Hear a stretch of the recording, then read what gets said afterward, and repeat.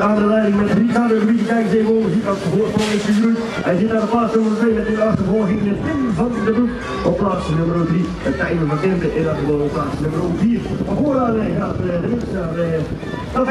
Die gaat naar eh, Joey Dielsen. Hij pakt weer nog deze tweede overwinning op weg naar een kwartfinale. We gaan kijken naar Ronald Lemmens, Adriaan Ronda, Lino van Rijswijk, Luc van Over, Mark Middler en Kane Verhoeven. Dat zijn allemaal hier op de bar voor een eh, tweede rit in de kwalificatie. Op weg naar een eh, kwartfinale. We kijken naar Ronald Lemmens, eh, de man van de VW Zinting hier aan de leiding. En hij gaat de strijd aan met de man hier op Snijmaan, Mark Middler. Die hebben hier geoefend natuurlijk op die bocht. Ik zie dat regelmatig hier gebeuren. En dus het Middler die daar nu zijn aan zijn. En Ronald Lemmens die laatste bocht gaat kijken. Dat is Lemmens daar aan de binnenkant.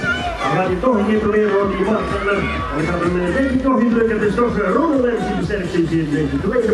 Voor